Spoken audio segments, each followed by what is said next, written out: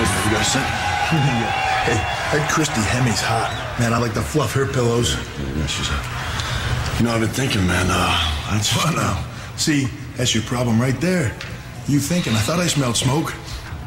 I'm just kidding. Lighten up. God, what's the matter with you? I'm being serious with you, man. I mean, I, I don't get it, man. Why offer Maven a spot in evolution? I mean, why don't you just go out and kill him? I mean, you're not afraid afraid that uh, Maven's gonna beat you, are you? Afraid Maven's gonna beat me?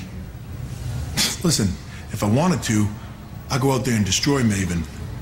But you gotta look at it like this. Who would you rather face for the world championship? Would you rather face me or Maven?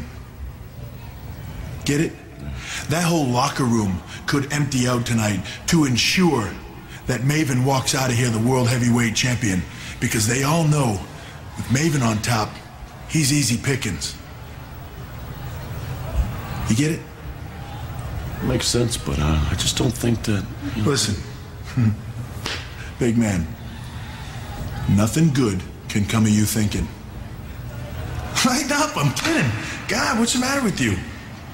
Jeez, lighten up.